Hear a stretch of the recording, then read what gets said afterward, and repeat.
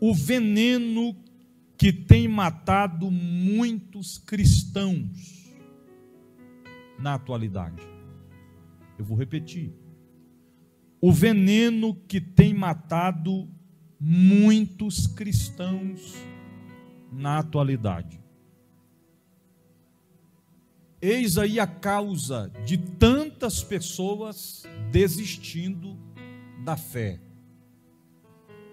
Este veneno que nós vamos destacar, aprofundar, a falar nesta noite, é uma das causas, das razões, em que muitos, não poucos, que outrora estavam na presença de Deus, hoje não estão mais.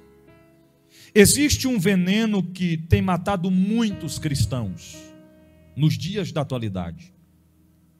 Um veneno silencioso.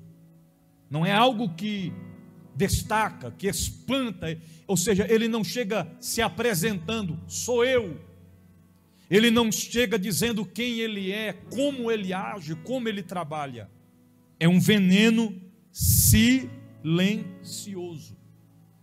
Porém, que escraviza, porém, destrói, porém, causa danos, deixa consequências e até mesmo pode matar. Mas que veneno é esse, bispo?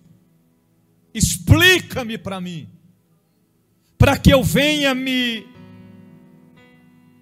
alertar quanto a isto, me policiar, para que eu venha vigiar cada vez mais, para não ser atingido, afetado por este veneno.